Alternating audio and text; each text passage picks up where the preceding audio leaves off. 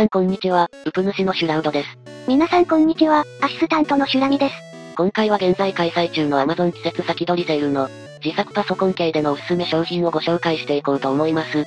たくさんの商品が出ているのでその中でも個人的に良さそうなものを紹介していこうと思います。皆さんの買い物の参考になればと思います。もしこの動画が少しでも参考になったら、ぜひ評価、チャンネル登録よろしくお願いします。もしかしたらすでに売り切れのものもあるかもしれませんがご了承ください。それでは行ってみましょう。Amazon セールで購入される前にキャンペーンにエントリーすると、合計1万円以上のお買い上げを対象にポイント還元率がアップするので必ずエントリーしましょう。ではおすすめ商品のご紹介です。まず最初のセールのおすすめ品は、Amazon Fire TV スティックになります。松屋じゃないの。こちらの価格が3480円となります。こちらネットに繋がっていないテレビでも YouTube や Netflix などが見れて便利なんですよね。ただ、本当におすすめなのは、こちらの Fire TV スティック 4K Max になります。先ほどの Fire TV スティックよりも本体の性能が高いので、より快適にアプリの起動や検索などができるのでおすすめです。ではパソコン系行ってみましょう。ということでパソコン系まず一つ目は、AMD Ryzen 7 5700X になります。こちらは価格が27,303円です。ちなみにこちらは価格コムよりも最安値となっているのでかなりおすすめです。現在私のメインパソコンでも使用している Ryzen 7 5700X、8コア16スレッドで、消費電力が 65W という超燃費の良い CPU となっています。また Ryzen 5台ということで、V450 や V550、X570 など対応マザーボードも多いので、かなりいいかなと思います。ただこの CPU、内蔵グラフィックがついていないので、こちらを購入される方は GPU も忘れずにお願いします。では次。インテル12、13世代用マザーボードの MSI Pro B760MG DDR4 というのが、13,980円でも販売しております。一応電源回路に強い MSI 製のマザーボードですが、B760 の中でもサイレン化モデルとなっているので、i3 や i5 のエントリー向け CPU などなら全然問題がないマザーボードだと思います。i7 あたりも使えるとは思いますが、そのあたりの CPU を使う人はもう少しグレードの高いものを買った方が、電源回路などの心配をしなくて良いかなと思います。では次。MSI MAGB550 トマホークです。こちらは AMD Ryzen 5000シリーズ向けのマザーボードになります。価格は17,980円になります。先ほどご紹介した Ryzen 7 5700X にもこちらのマザーボードは対応しているので、それ用に購入してもいいかと思いますし、B450 や A520 のマザーボードを使ってる人はマザーボード入れ替え用でも十分いいかなと思います。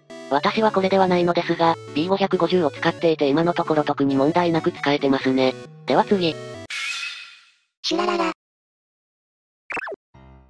今回もストレージに関してはかなり多くのものが安くなっていたので、その中でも私的に良さそうなものを何点かご紹介します。では一つ目のストレージのご紹介。記憶値は 1TB になります。こちらは価格が6280円になります。こちらは Gen3 なので読み書き速度が読み込み 3400Mbit 毎秒、書き込み 3200Mbit 毎秒になります。今までの Amazon セールではこれより遅い速度のストレージが同じ価格で出ていたので、これからストレージを購入したいという方はいいかと思います。では次。SK ハイニクスプラチナム P41-2TB になります。価格は16,500円になります。こちらは Gen4 の M.2SSD になるので、読み込みが 7000Mbit 毎秒、書き込みが 6500Mbit 毎秒、と、かなり高速な M.2SSD になります。さらに保証も5年ついているので、そこも安心ですね。ちなみにこちらは元値が3万7695円で、他のお店でも2万超えしているので、今回かなり安くなっていますね。私もこの動画作りながら安さにびっくりして購入しちゃいました。え、また買ったの？買っちゃいました。では次。ネクストレージの NEMPA1TB になります。価格が9980円になります。こちらは先日大阪のイベントで46%になるという話だったのが、セールが始まったら56%になっていたんですよね。ただ安いので気になってご紹介しておりますが、このネクストレージさんの M.2 を使ったことがないので、品質がどうかは正直わかりません。ただ元値から考えると半額以上なんで安いなと思ってご紹介しました。ちなみにヒートシンクなしは9900円で販売していました。では次。シリコンパワーの M.2SSD2TB になります。価格は11,061円になります。こちらも Gen4 の M.2SSD で、読み込みが 5000Mbit 毎秒、書き込みが 4800Mbit 毎秒です。先ほどの SK ハイニクスより5000円ぐらい安いので、2TB を欲しいという方はおすすめですね。ただ書き込みと読み込み速度は SK ハイニクスの方が早いみたいです。ここら辺は好みかとは思います。一応ストレージに関しては、有名なメーカーを中心にお伝えしましたが、1TB に関してはどれも安く、2TB もかなり安い状況となっているので、これを機に増設なんかもありかもしれませんね。では次。まずは DDR4 メモリから、チームの 3200MHz16GB×2 枚が7498円で販売しております。こちらよく安くなるメモリなんですが、8GB×2 枚ではなく 16GB×2 枚の合計 32GB なんですよね。そんなにメモリ必要ないって方も多いとは思いますが、4枚搭載すれば 64GB になるので、クリエイティブな作業や重いゲームなどにもいいかなと思い紹介しました。では次。同じくチームの DDR5 メモリになります。こちらはメモリ速度が 6000MHz で 16GB×2 枚の 32GB で、価格が14,980円になります。DDR5 メモリは他にも1万2000から1万3000円ぐらいのものもあったのですが、メモリ速度がどれも 5200MHz とかだったので少しでも速度が高くて割引率の高いこれがいいかなと思い、ご紹介しました。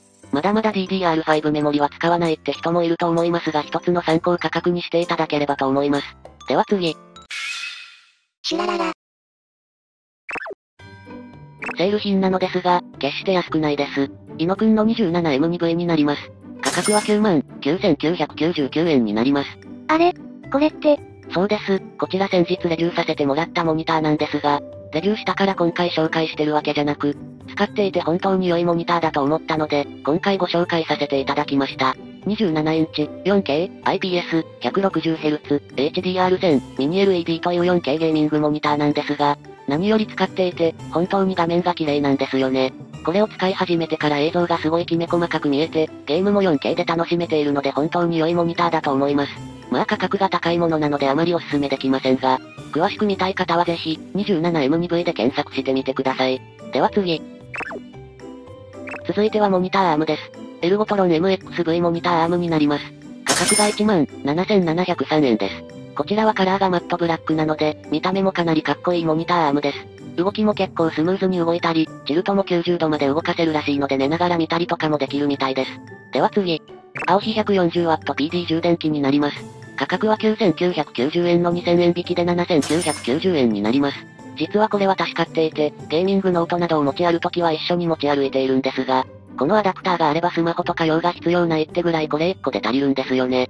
もちろん2ポート出力や3ポート出力をすると、140W をゲーミングノートに集中して使用できないのですが、正直このぐらいの出力が来てれば、外で動画編集とかする分には問題ないんですよね。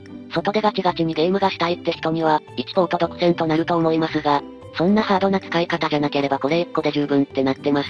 では次。エルガトストリームデックプラスになります。価格は28,480円です。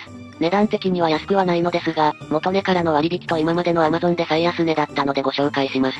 私普段、これの初代を使っているのですが、配信、動画編集の時にすごい便利なんですよね。もちろん、編集や配信をしなくても、普段自分が使ってるソフトのショートカットを入れたり、音量調整や時計、マウスの電池残量なんかも表示できたり、色々便利なんですよね。では次。在宅応援、松屋を一度に楽しめる在宅応援福袋、九種30食になります。おい価格は6290円です。結局松屋はやるのね。いやだって、松屋美味しいじゃないですか。まあ確かに。ということで気になる方は見てみてください。はい、ということで今回は、Amazon 先取りセールの商品を見てみました。もしかしたら他にも安い商品があったかもしれません。こういうのって見てるだけでも楽しいわよね。それはありますね。